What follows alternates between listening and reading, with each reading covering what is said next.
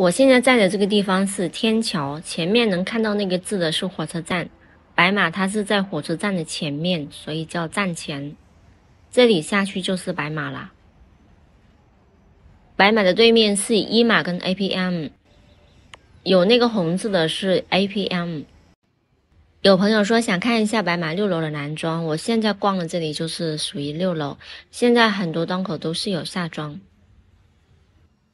白马的二楼现在在装修，其他都是属于正常的。这边的男装是属于中高档，整体来说品质、款式方面都是可以的。他们的秋款已经上新了，只是说平时会有人来这边零售，他们有很多短袖。像这种断码的短袖是特别便宜的，平时在商场里面至少要两百多、三百多的。现在这个时候，大部分都是几十块钱就可以买得到了。沙河那边也是有男装，但是那边的男装质量比这边稍微差一点点，款式肯定是没有这边好看。每个档口它的风格定位都是非常明确的，如果是专门做商务装的，它就是。全部都是以商务装为主。如果是专门做那种有点像欧版的重工的，它整个店铺里面都是这类型的衣服。这里还有一些鞋子，鞋子的质量还都不错。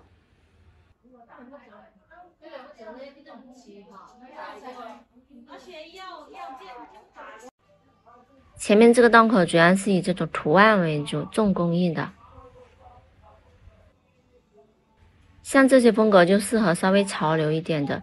U S 那边也是有男装，那边的男装也是属于中高端，那边的男装相对来说是属于年轻一点，二十五岁以下穿比较合适。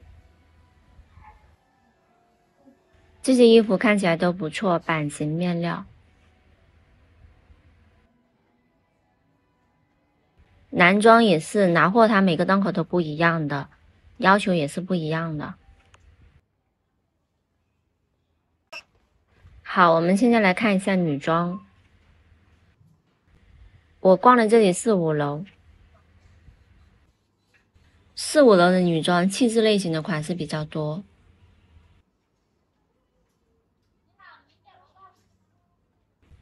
现在女装的外套是很多的，因为白马冬天它主要是以外套为主。有朋友说想找一下白马的尾货，来这边能不能找得到？如果你不是收尾货的，你来这边是找不到尾货的，因为他们的尾货都是直接跳给收尾货的人。如果你们要找白马的尾货，就去尾货市场里面找就可以了。一般那个呃京东啊，京东也是有啊，但是比较少。还有那个广大、国大会比较多。白马这边的衣服一眼看过去不是很惊艳，但会越看越耐看，越看越好看。它就属于耐看型。零售来这边会比较贵，但是相对来说还是很实在的，很便宜的价格。因为你两三百块钱的在这里买到的衣服，在外面至少得卖一千多，这个是很正常的，一点都不奇怪。